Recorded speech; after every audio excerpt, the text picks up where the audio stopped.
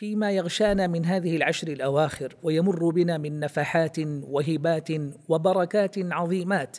أودعها الباري سبحانه وتعالى في جوف هذه الأيام المباركة العشر الأواخر من رمضان فإنها حقيقة زينة الشهر وعصارته هي أريج رمضان الفواح. وقلبه النابض الذي يمتلئ خيرا وبركة. وقد أودع الله سبحانه وتعالى بينها ليلة القدر التي قال عنها المولى سبحانه وتعالى ليلة القدر خير من ألف شهر. قال السلف العمل فيها خير من العمل في ألف شهر. من أجل ذلك كان هدي المصطفى عليه الصلاة والسلام الذي نقتدي به ونتأسى به وننصبه لنا قدوة نقف خلفها ونسير في إثرها أنه كان يجتهد في هذه العشر الأواخر ما لا يجتهد في غيرها من أيام الشهر ولا في غيرها من أيام العام. كان عليه الصلاة والسلام كما تقول أمنا عائشة رضي الله عنها إذا دخلت العشر أحيا الليل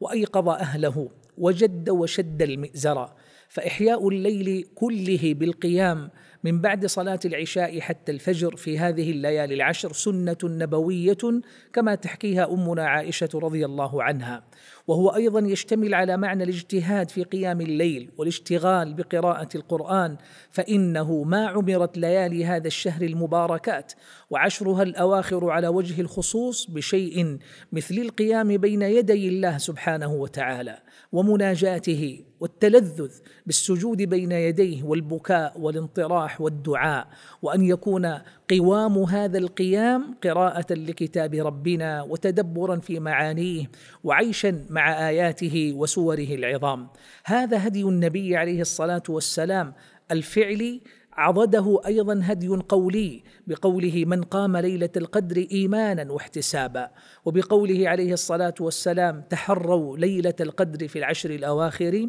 من رمضان كل ذلك مجموعه يقودنا إلى أن نكون أيها المباركون فيما بقي من أيام شهرنا أشد حرصا مما مضى فأحدنا فيما سبق من أول الشهر حتى هذه الساعة إما محسن مجتهد أو مقصر مفرط. فأما الأول المجتهد الحريص المحسن الذي قد ملأ أيام شهره من أوله طاعة وعبادة واجتهادا وقربة فهو والله أولى وأحرى أن يختم شهره بمزيد من الاجتهاد وأن يكون له في هذا الختام مزيد عناية فإنما الأعمال بالخواتيم ومن اجتهد فهو أحرى أن يكون سابقا. إن الخيل إذا قاربت الوصول جدت في المسير فجدوا رحمكم الله. وإن كان الآخر مقصرا أو مفرطا قد ضاعت منه ساعات وفي غفلة أو في عدم اجتهاد فيما ينبغي أن يكون عليه من أول الشهر فهو آكد أن يكون في أيامه الباقيات أشد حرصا وانتباها فربما أدرك المتأخر ما لم ينله المتقدم والتوفيق بيد الله ورحمة الله واسعة والله يختص بفضله من يشاء والله ذو الفضل العظيم.